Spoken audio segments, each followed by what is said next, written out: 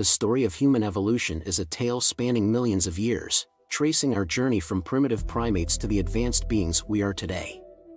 This narrative combines evidence from genetics, archaeology, and anthropology to paint a comprehensive picture of our ancestors. The journey to Homo sapiens. First primates. Originating roughly 60 million years ago after the dinosaurs' extinction, early primates resembled today's lemurs.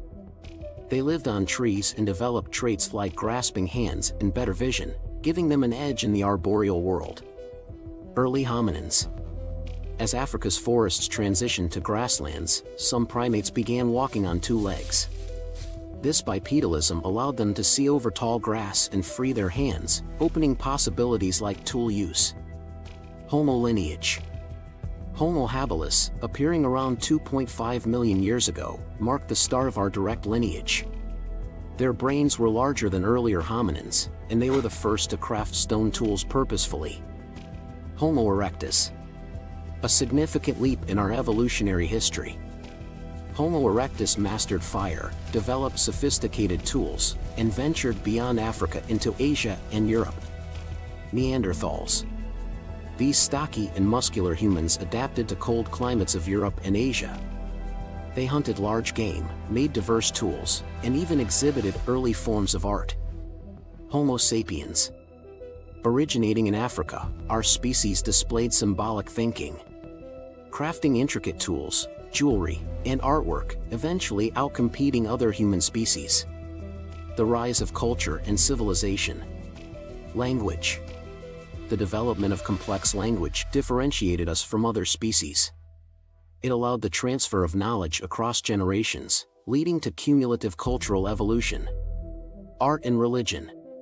Cave paintings in France and Spain, dating back over 30,000 years, depict animals, humans, and abstract symbols, indicating a spiritual or ritualistic dimension to early human life. Agriculture the transition from hunting-gathering to farming around 10,000 years ago revolutionized human society. It led to surplus food, population growth, and the birth of civilizations. Civilization. With increased populations, humans built cities along river valleys. This saw the emergence of governance, writing, and organized religion.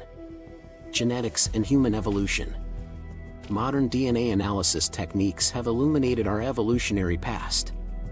For example, many humans outside Africa have Neanderthal DNA, suggesting interbreeding between species. Fossil records. Fossils act as windows to our past. Sites like the Rift Valley in Africa have yielded numerous fossils, offering a chronological look at our ancestors and their environments.